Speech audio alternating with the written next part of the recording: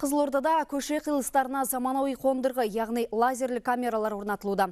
Интеллектуалды қиылыс деп аталатын бұл бағдарлама бағдаршамның тыйым салынатын белгісінен жүру, тоқтау сызығын басып өту, жолдың қарсы бағытына шығу сияқты жол ережелерін бұзғандарды автоматты түрде таспаға түсіріп, көліктің кімге тиесілі екендігін анықтайды.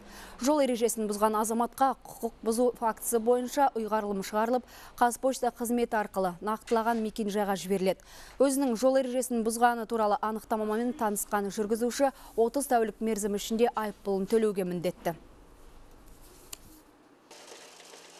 осы заманауи құрылғылардың тиімділігі бұл қозғалыстың жаңағы жол қозғалысын бұзғандарды көптеп табуда яғни қазіргі таңда күніне 300-400 құқық бұзушылық анықталып 20 миллионнан астам айыппұл салынды